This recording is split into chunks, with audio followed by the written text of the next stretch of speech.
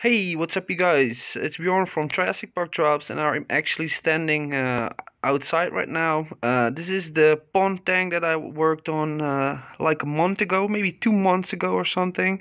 And uh, I actually just discovered a living Triops inside this tank right now because it's it's really strange because it's actually four degrees Celsius outside, so it's really cold.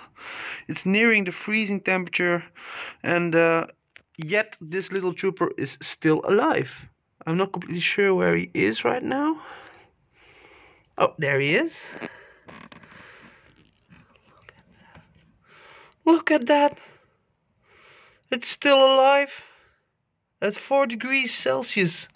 That's one of the lowest temperatures I ever kept my Triops at. Never seen this before that this is possible actually. There it is.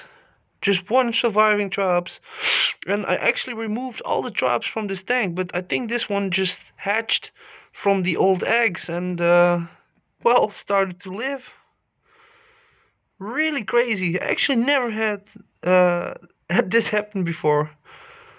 And it's living at a temperature of just 4 or 5 degrees Celsius just alone inside the outdoor pond tank